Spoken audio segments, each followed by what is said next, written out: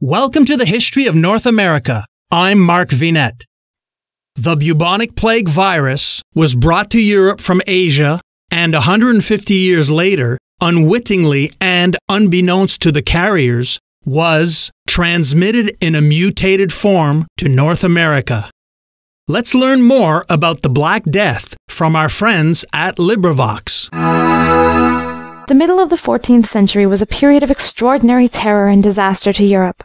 Numerous portents, which sadly frightened the people, were followed by a pestilence which threatened to turn the continent into an unpeopled wilderness.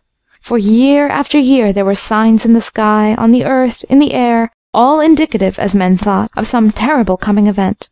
In 1337 a great comet appeared in the heavens, its far extending tail sowing deep dread in the minds of the ignorant masses. During the three succeeding years the land was visited by enormous flying armies of locusts, which descended in myriads upon the fields, and left the shadow of famine in their track. In 1348 came an earthquake of such frightful violence that many men deemed the end of the world to be presaged. Its devastations were widely spread. Cyprus, Greece, and Italy were terribly visited, and it extended through the Alpine valleys as far as Basel. Mountains sank into the earth. In Carinthia thirty villages and the tower of Villach were ruined. The air grew thick and stifling. There were dense and frightful fogs. Wine fermented in the casks. Fiery meteors appeared in the skies. A gigantic pillar of flame was seen by hundreds descending upon the roof of the Pope's palace at Avignon. In 1356 came another earthquake, which destroyed almost the whole of Basel. What with famine, flood, fog, locust swarms, earthquakes, and the like, it is not surprising that many men deemed the cup of the world's sins to be full and the end of the kingdom of man to be at hand. An event followed that seemed to confirm this belief. A pestilence broke out of such frightful virulence that it appeared indeed as if man was to be swept from the earth. Men died in hundreds, in thousands, in myriads, until, in places, there were scarcely enough living to bury the dead and these so maddened with fright that dwellings, villages, towns were deserted by all who were able to fly, the dying and dead being left their sole inhabitants. It was the pestilence called the Black Death, the most terrible visitation that Europe has ever known. This deadly disease came from Asia. It is said to have originated in China, spreading over the great continent westwardly, and descending in all its destructive virulence upon Europe, which continent it swept as with the besom of destruction. The disease appears to have been a very malignant type of what is known as the plague, a form of pestilence which has several times returned, though never with such virulence as on that occasion. It began with great lassitude of the body, and rapid swellings of the glands of the groin and armpits, which soon became large boils. Then followed, as a fatal symptom, large black or deep blue spots over the body, from which came the name of Black Death. Some of the victims became sleepy and others were incessantly restless. The tongue and throat grew black, the lungs exhaled a noisome odor, an insatiable thirst was produced. Death came in two or three days, sometimes on the very day of seizure. Medical aid was of no avail. Doctors and relatives fled in terror from what they deemed a fatally contagious disease, and the stricken were left to die alone. Villages and towns were in many places utterly deserted, no living things being left, for the disease was as fatal to dogs, cats, and swine as to men. There is reason to believe that this and other less destructive visitations of plague were due to the action of some of those bacterial organisms which are now known to have so much to do with infectious diseases. This particular pestilence breeder seemed to have flourished in filth, and the streets of the cities of Europe of that day formed a richly fertile soil for its growth. Men prayed to God for relief instead of cleaning their highways and byways, and relief came not. Such was its character. What were its ravages? Never before or since has a pestilence brought such desolation. Men died by millions. At Basel it found fourteen thousand victims; at Strasbourg and Erfurt sixteen thousand. In the other cities of Germany it flourished in like proportion. In Osnabrück only seven married couples remained unseparated by death. Of the Franciscan Minorites of Germany one hundred and twenty five thousand died. Outside of Germany the fury of the pestilence was still worse; from east to west, from north to south, Europe was desolated. The mortality in Asia was fearful. In China there are said to have been thirteen million victims to the scourge; in the rest of Asia twenty four millions. The extreme west was no less frightfully visited. London lost one hundred thousand of its population; in all England a number estimated at from one third to one half the entire population then probably numbering from three to five millions, were swept into the grave.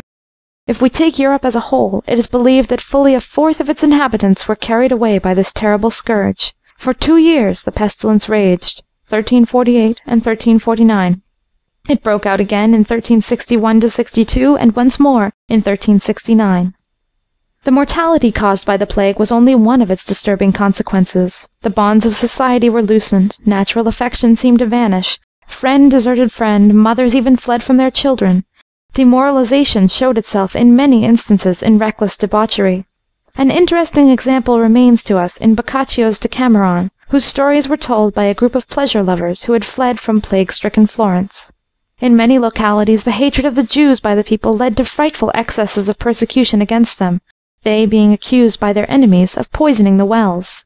From Berne, where the city councils gave orders for the massacre, it spread over the whole of Switzerland and Germany, many thousands being murdered. At Mayence it is said that twelve thousand Jews were massacred. At Strasbourg two thousand were burned in one pile. Even the orders of the Emperor failed to put an end to the slaughter. All the Jews who could take refuge in Poland, where they found a protector in Casimir, who, like a second Ahasuerus, extended his aid to them from love for Esther, a beautiful Jewess. From that day Poland swarmed with Jews. This persecution was discountenanced by Pope Clement VI in two bulls, in the first of which he ordered that the Jews should not be made the victim of groundless charges or injured in person or property without the sentence of a lawful judge. The second affirmed the innocence of the Jews in the persecution then going on, and ordered the bishops to excommunicate all those who should continue it. Of the beneficial results of the religious excitement may be named the earnest labors of the Order of the Beguines, an association of women for the purpose of attending the sick and dying, which had long been in existence, but was particularly active and useful during this period.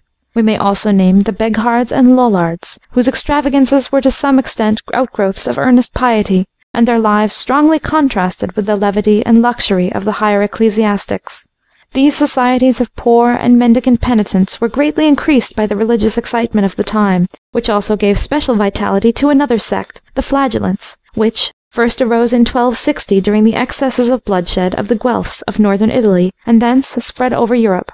After a period of decadence they broke out afresh in 1349 as a consequence of the deadly pestilence. The members of this sect seeing no hope of relief for human action, turned to God as their only refuge, and deemed it necessary to propitiate the Deity by extraordinary sacrifices and self tortures. The flame of fanaticism, once started, spread rapidly and widely. Hundreds of men and even boys marched in companies through the roads and streets, carrying heavy torches, scourging their naked shoulders with knotted whips, which were often loaded with lead or iron, singing penitential hymns, parading in bands which bore banners and were distinguished by white hats with red crosses. Women as well as men took part in these fanatical exercises, marching about half naked, whipping each other frightfully, flinging themselves on the earth in the most public places of the towns, and scourging their bare backs and shoulders till the blood flowed. Entering the churches they would prostrate themselves on the pavement, with their arms extended in the form of a cross, chanting their rude hymns. Of these hymns we may quote the following example. Now is the holy pilgrimage Christ rode into Jerusalem, and in his hand he bore a cross. May Christ to us be gracious, our pilgrimage is good and right. The Flagellants did not content themselves with these public manifestations of self sacrifice. They formed a regular religious order, with officers and laws and property in common. At night, before sleeping, each indicated to his brothers by gestures the sins which weighed most heavily on his conscience, not a word being spoken until absolution was granted by one of them in the following form for their dear sakes, who torture bore, Rise, brother, go, and sin no more. Had this been all, they might have been left to their own devices, but they went farther. The day of judgment, they declared, was at hand. A letter had been addressed from Jerusalem by the Creator to his sinning creatures, and it was their mission to spread this through Europe.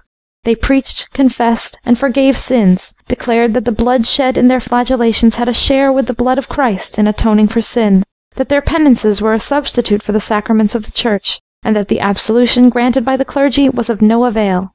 They taught that all men were brothers and equal in the sight of God, and upbraided the priests for their pride and luxury.